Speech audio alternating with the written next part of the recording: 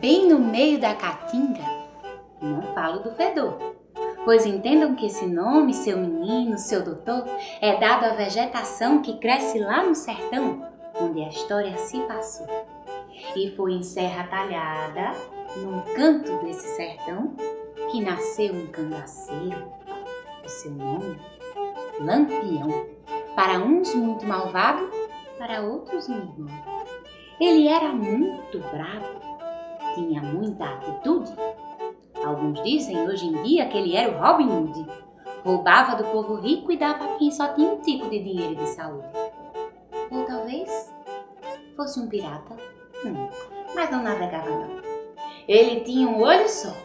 Também era capitão e comandava o seu bando com muita satisfação. Ele era tão raivoso que se um pedacinho entrava de comida entre os dentes e muito lhe incomodava, ele pegava um facão, fazia uma extração que nem um dente sobrava. E esse homem tão temido também tinha sentimento.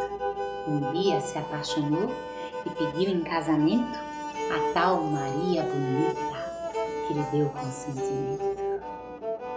Ela também era braba e andava no seu bando Demonstrou que a mulher também tem força lutando e seguiu com seu marido mundo afora caminhando.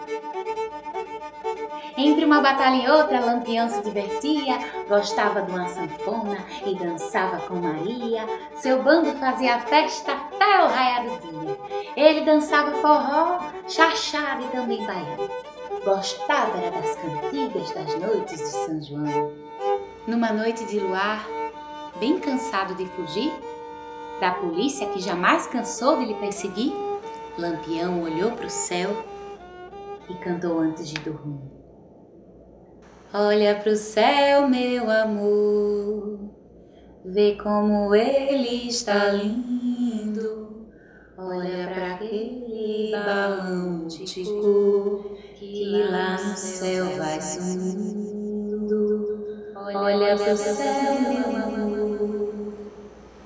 assim adormeceu junto de sua Maria. A polícia os encontrou logo cedo no outro dia. Foi cantando uma cantiga sobre o céu do seu rincão que se despediu da vida o temido Lampião, que faz parte da história e hoje vive na memória de quem é da região. E é cantando uma canção que eu encerro a poesia de uma história que falou de tristeza e alegria. Vamos continuar no shot? Me despeço com um mote. Adeus, até outro dia. Olha pro céu, meu amor, vê como ele está lindo. Olha para aquele balão de cor que lá no céu vai sumir.